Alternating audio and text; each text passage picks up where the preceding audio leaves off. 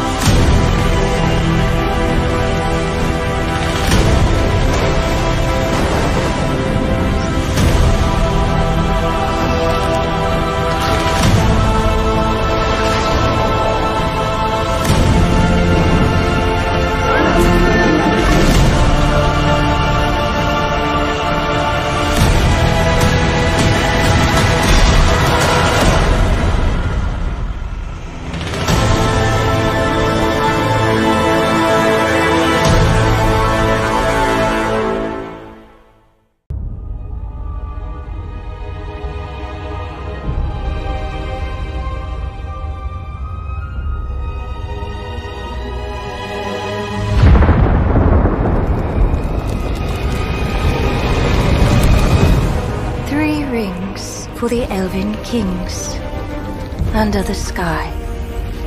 Seven for the Dwarf Lords in their halls of stone. Nine for mortal men doomed to die. One for the Dark Lord on his dark throne in the land of Mordor where the shadows lie.